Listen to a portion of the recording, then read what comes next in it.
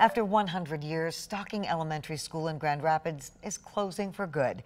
Tonight, the community celebrated and looked back at the history of Stocking Elementary during an open house before it closes this week. 13 on your sides, Kiara Patterson was there. She joins us with details. Kiara.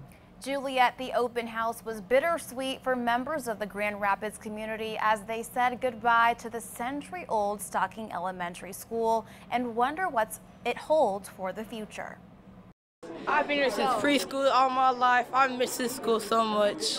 It's the final week of school for many students before summer break.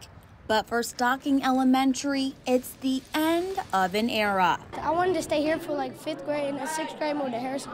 But I mean, I'm not kind of happy with it because they could, because Harrison's like a newer school, and this is like it's been here for years. Farewell celebrations were in order Tuesday as members of the community gathered to share memories of Stocking Elementary, which turned 100 years old this year. Attendees could take self guided tours of the school and fill out surveys to give feedback about the future of the building.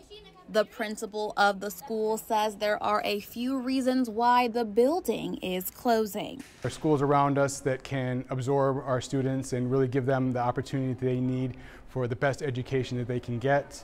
Um, we are a smaller school. We don't have air conditioning. We've got some building needs that can just better be served by Sibley and Harrison, really taking our kids in and embracing them. Stocking Elementary closed before, once in 2010, and reopened a few years later.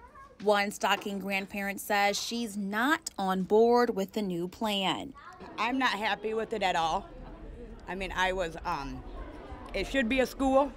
We don't need no more housing, no whatever they plan on doing with it. The school was amazing the whole time that we were here. Tuesday's open house included a performance of the song America the Beautiful, which was played during the opening of the building in 1924.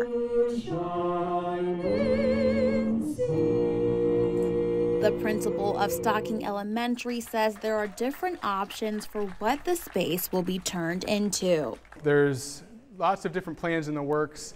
Um, there's some developers that are coming to come in and look at it and see what we can best utilize this space for. And East Leonard Elementary School also closes this year and will have a similar program tomorrow evening. In the newsroom, Kiara Patterson, 13 on your side.